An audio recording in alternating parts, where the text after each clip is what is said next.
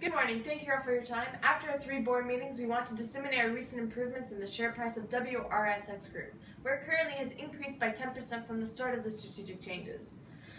In our first meeting, we decided on the following agenda items market opportunity in China, opportunities in digital media, delivering the donuts for Generation Y, and sustainability policy. After the board meeting, the share price did drop slightly. However, we believe that this may be attributed to the ambitious goals that we have for WRSX Group and the potential opportunities available that will position the company as a global leader. This is but this is done by entering the emerging markets, starting a new service line in digital media, and attracting new customers through the Generation Y sustainability policy. In our second board meeting, our chosen agenda increased our share price by 9.2%. This was achieved by the four following things.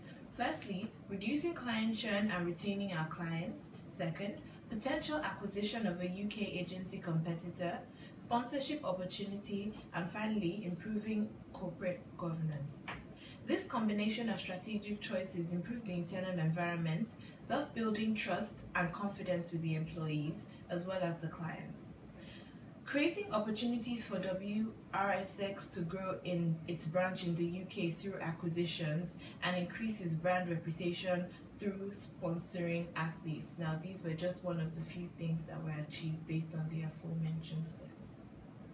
So during our last board meeting, we took a long-term approach with regards to our growth strategy. We decided to invest in expanding our CineFX branch to the US as we have a lot of client opportunities in this market.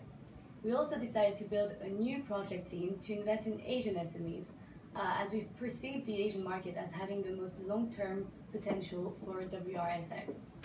On top of that, we have focused on increasing efficiencies, and thus we plan to outsource part of our HR services to enable cost synergies. We also decided to invest in the restructuring of the group from a multi-divisional structure to a matrix structure to eliminate the potential uh, for a hostile takeover. Hence, we took a long-term approach to ensure the strengthening of the WRSX group and to organically grow our revenues and reduce our costs. In conclusion, despite our internal and external choices, our share price has not increased significantly. However, going forward, we are taking a long-term approach to ensure that we sustain incremental growth financially and operationally. We look forward to the upcoming board meetings and the potential growth WRSX has. Thank, Thank you. you again. Thank you.